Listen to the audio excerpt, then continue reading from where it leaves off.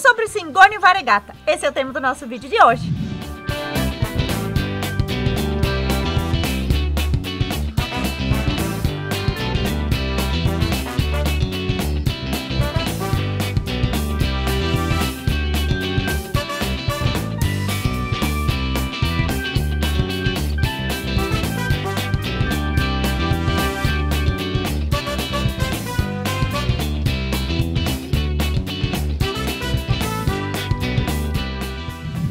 Nome é Ângela Cristina Agoria da Flor de Camomila e tenho mais de 30 anos de experiências no cultivo e no cuidado com as plantas. E se você quer comprar plantinhas da Flor de Camomila, o link do catálogo está aqui embaixo na descrição desse vídeo.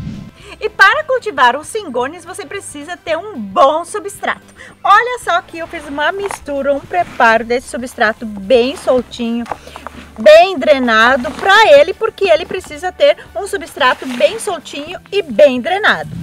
E qual é a forma correta de plantar o cingônio? Eu tenho aqui uma muda e eu vou mostrar para vocês como plantar ele que você vai crescer, que ele vai crescer lindo e saudável. Então você vai escolher um vasinho com furos. Sempre é importante ter um vaso com furos para que o substrato drene bem a água. Então você vai colocar o substrato dentro do vaso.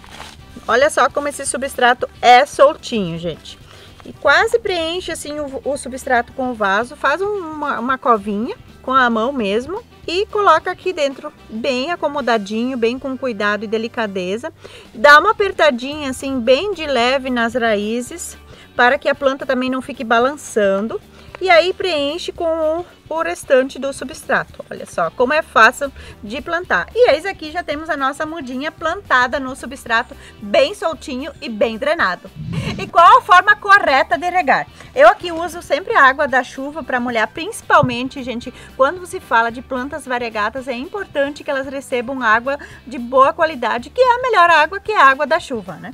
Então, como que eu vou molhar? Depois que eu fiz o plantio da planta, eu vou pegar a aguinha da chuva e vou regar todo o substrato. Olha só, vou girar o vaso, assim vai molhar, vai pegar água em todas as partes da planta, ó. Molha bem até deixar a água escorrer lá embaixo, ó. É sempre importante que a gente sempre, olha só, já tá saindo água lá embaixo. Então, vocês podem ver que é um substrato bem drenado e bem fofinho. Se você, depois que você molhou a sua planta, como que você vai fazer para saber quando que você vai regar de novo?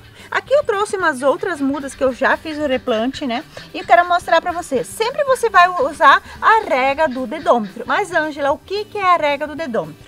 Você vai pegar os dedos e vai colocar na terra, ó. Vai colocar na terra para sentir como é que tá o substrato. O dedo saiu sujo, é sinal que você não precisa regar. Mas agora, se os dedos, se aqui eu não tivesse regado as plantas e o dedo saísse bem sequinho, como que tá aqui, olha só, meus dedos não estão sujos, né? Então você teria que molhar o substrato, porque eles gostam de um substrato úmido, porém não encharcado. E como cuidar do cingônio variegata? O cingônio variegata, como o próprio nome já diz, ele tem essa variegação na folha. Olha só, ela vem com uma parte branca, né, da folha. Olha só, vocês podem ver, olha só aqui como ela tem uh, uma folha quase totalmente albina, né, quase toda ela branquinha. Aqui também a gente vai ter uma outra folha branca. E você Uh, e uma coisa muito importante que vocês vão observar, gente, quando nascem as folhas variegatas, é o caulezinho da planta, né?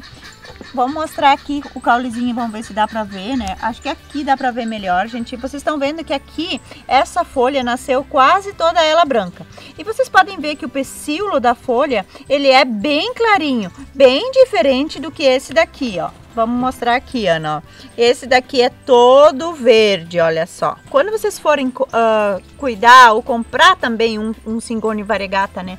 Vocês observem bastante essa questão do cabinho da folha, porque isso determina se a folha, a próxima folha vai ser variegata ou não. Como por exemplo aqui, gente. Aqui, olha só. Essa folhinha as outras folhas, quase todas elas têm a metade variegata, ó. A metade aqui, quase toda ela. E essa daqui, vocês podem ver que todo o cabinho dessa folha aqui tá bem branquinho, tá bem clarinho. Dá pra ver nitidamente a diferença. Então, vocês sempre observem o cabinho da folha para ver como que é. Porque isso também vai dizer se a próxima folha vai ser variegata ou não. Mas, Ângela, nasceu uma folha verde. O que, que eu tenho que fazer? Essa folha aqui, nasceu toda ela verde. Mas como vocês podem ver, a folha anterior ela era uma folha variegata, a folha nasceu verde e essa daqui nasceu completamente ela toda ela com variegação, né? Então, você vai observar se vai nascer uma folha variegata, é a primeira coisa que você vai observar. Se não nascer variegata, você pode acabar com o tempo tirando essa folha mais velha aqui, que é a folha verde, e vai estimular a planta a produzir a folha nova variegata. Como que você vai fazer isso? No caso aqui, se não tivesse nascido, se no caso aqui, gente, quando tiver maior o cabinho, que nem aqui, ó, você vai cortar essa folha verde fora e vai aguardar para o próximo surgimento da próxima folha. Isso é uma coisa que vocês podem observar bastante sempre. E vocês sabiam, gente, que o nosso fornecedor de cingônios é uma senhora aposentada e apaixonada por plantas? E a gente meio que se conheceu assim, meio que no acaso. E ela produz Singônio variegato. E ela contando para mim, gente, ela também contou a mesma história que eu tô contando para vocês sobre como estimular a, o surgimento da folha variegata. E olha só que bacana, gente, isso. Ela ajuda, ela tem isso como ela cultiva plantas como uma forma de terapia e como uma forma de renda extra, né? Então, é muito muito legal isso, gente. A gente vai ajudando outras pessoas no decorrer do caminho da gente que a gente acaba atraindo as pessoas que pensam como a gente, que têm a mesma energia, que amam as plantas e olha só que coisa mais maravilhosa, gente, essa plantinha aqui com essa folha variegata. Imagina, ela já traz todo esse amor dela que ela já tem mais de 70 anos, gente, e ela cultiva plantas ó, há muitos anos, então ela já traz dentro dela toda essa energia. E vocês já sabem, né, que eu também sou apaixonada por plantas, então duas pessoas apaixonadas por plantas, cultivando as plantas, só pode restar nessas coisas lindas, maravilhosas aqui. Olha só que perfeição divina, gente e onde deixar o seu cingônio variegata. Mas antes de eu te mostrar onde colocar essa plantinha maravilhosa, o cingônio variegata, já aproveita e se inscreve no canal da Flor de Camomila. Gente, após que vocês fizeram o replante, você vai deixar a planta em meia sombra até que ela enraize bem. Depois que ela passar no período de enraizamento, você vai colocar ela num ambiente com bastante luminosidade. O que, que quer dizer isso? Mais próximo da janela possível. Todas as plantas que têm essa coloração variegata, elas gostam de bastante luminosidade, mas porém você não pode colocá-las no sol direto que acaba queimando a folha. Outra coisa bem importante, gente, é a questão da umidade na folha, né? Por quê? Porque ela precisa ter umidade suficiente para ela poder abrir bem, né? Porque ela precisa quando ela tá assim fechadinha, ela precisa de umidade para poder crescer, como também para abrir as folhinhas novas, né? Então você vai utilizar o que? Você pode colocar umas garrafas assim de vidro no meio das plantas, né? Que isso também ajuda a manter a umidade. Ou também você pode fazer o uso de um umidificador, que é muito bom para as plantas, né?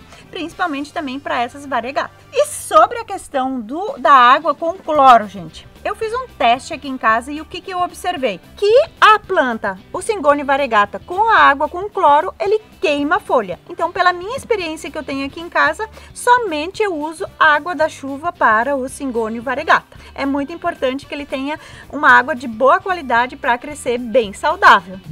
E se você ficou com alguma dúvida sobre essa maravilhosa planta Singone variegata, deixa aqui embaixo nos comentários que será um prazer te ajudar. E se você quer aprender um pouco mais sobre plantas, assista esses próximos vídeos que eu vou deixar a seguir. Espero que vocês tenham gostado. Tchau! Até o próximo vídeo!